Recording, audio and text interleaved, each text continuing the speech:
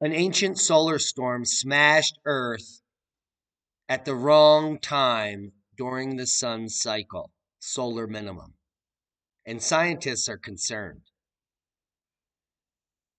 The 9,125 year old solar storm left researchers with one stark conclusion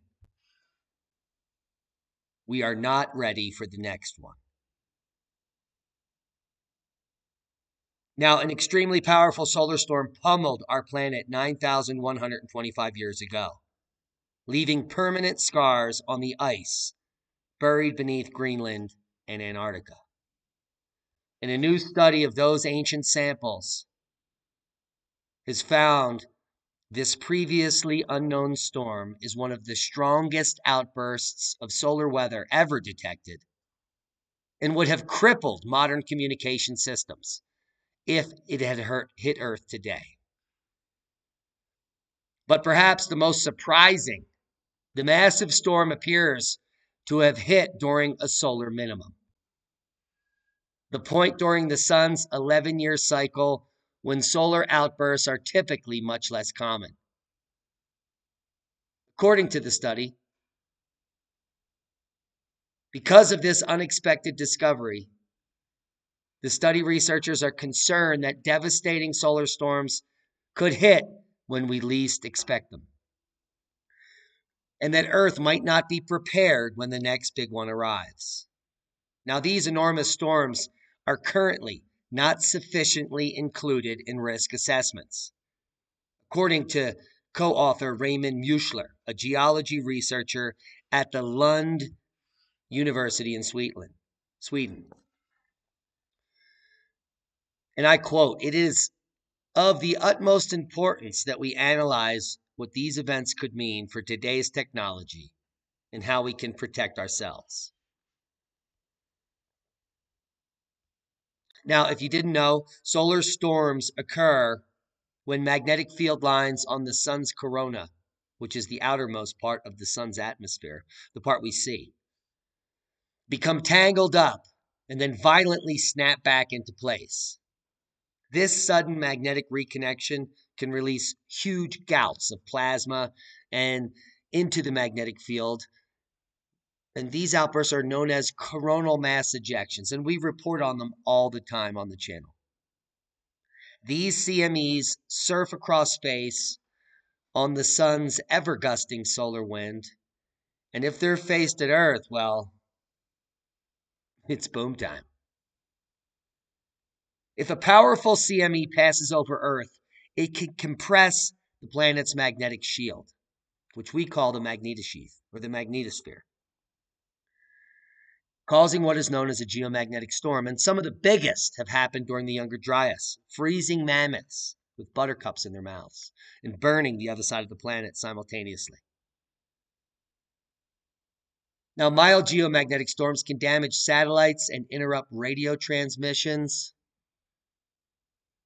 like severe storms, like the Halloween storm of 2003, can cause widespread power outages across the world and perhaps permanently damage electrical infrastructure forever, including things like power transformers. And some researchers fear that a sufficient, sufficiently large storm could also ravage the world's undersea internet cables resulting in an internet apocalypse. Can you imagine that? No more Netflix? It would literally leave huge chunks of the world population disconnected for months at the minimum, years, and perhaps, well, disconnected forever. Now, CME outbursts typically peak every 11 years or so, and we're headed towards the next solar max in just two, three years. So, heads up. And these solar maximum are when the sun enters a part of its natural activity cycle where sunspots are perpetuating the field. And magnetic activity is quite stimulated. And the coronal mass ejections were thought to be quite high.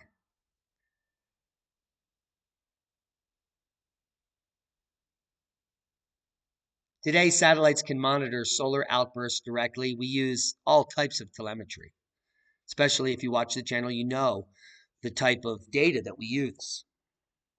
But the authors of the new study looked for evidence of special particles known as cosmogenic radionuclides. You know them as cosmic rays, baby. Essentially, radioactive isotopes created when charged solar particles collide with elements in Earth's atmosphere. And you can see the breakdown here.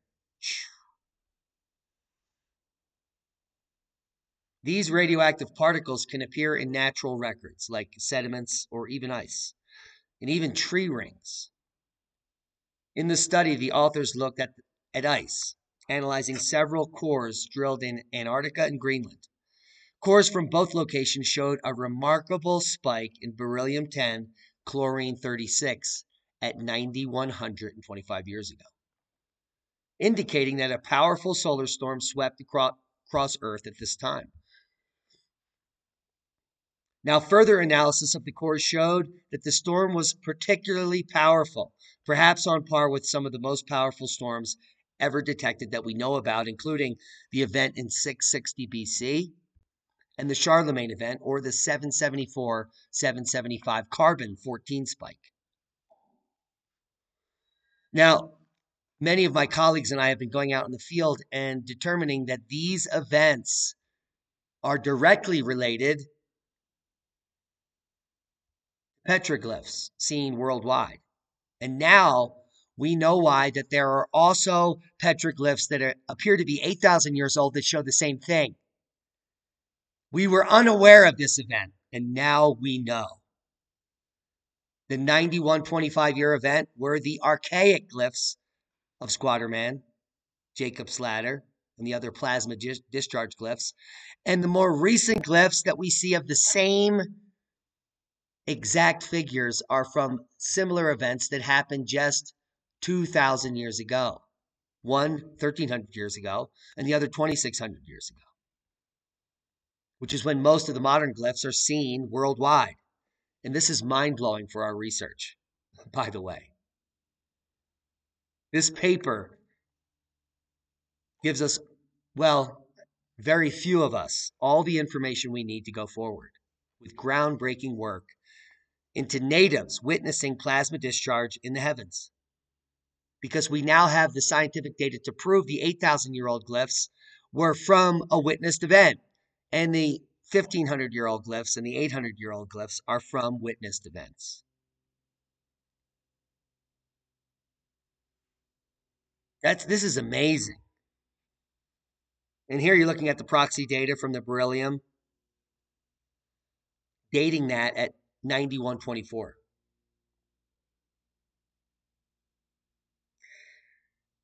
Now, the newly discovered storm occurrence during a solar minimum, when magnetic, magnetic activity on the Earth is at a low point,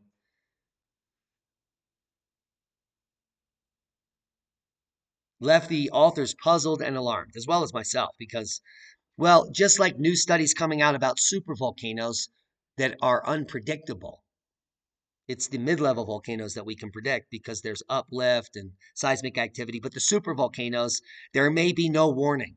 So all of a sudden, you have Campo Flegrei or Yellowstone. And now we know that we can have solar outbursts, the likes of which we've never seen in modern times, happening right now, anytime. Doesn't have to be solar max. And this storm further pushes the magnitude of a potential worst case scenario for solar storm events. According to the study authors, it is now essential for researchers to detect more ancient extreme storms in the ice core and tree ring records to determine if there is some sort of pattern behind or beyond the sun's 11 year cycle. Well, welcome to the paradigm shifting show of magnetic reversal news. The news you need to know.